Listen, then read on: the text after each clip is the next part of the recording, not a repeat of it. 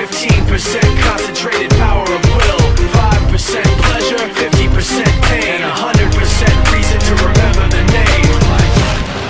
need his name up in lights. He just wants to be heard, whether it's the beat or the mic. He feels so unlike everybody else alone In spite of the fact that some people still think that they know. But no, he knows the code. It's not about the salary, it's all about reality And making some noise, making a story Making sure his click stays up. That means when he puts it down, Tox picking it up. Let's go. Who the hell is he anyway?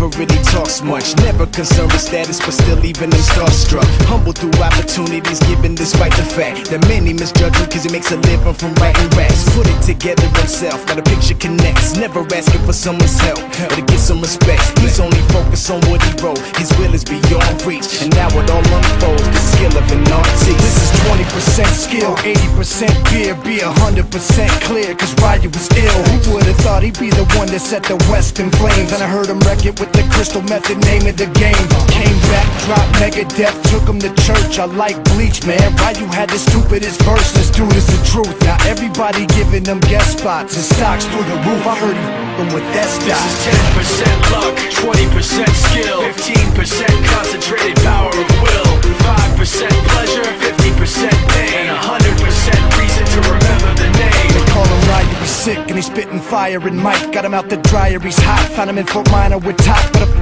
nihilist. Porcupine He's a he's a the type women wanna be within rappers Hope he gets eight years in the making. Patiently waiting to blow Now the record with notice taking over the globe. He's got a partner in crime, his is equally dope. You won't believe the kind of that comes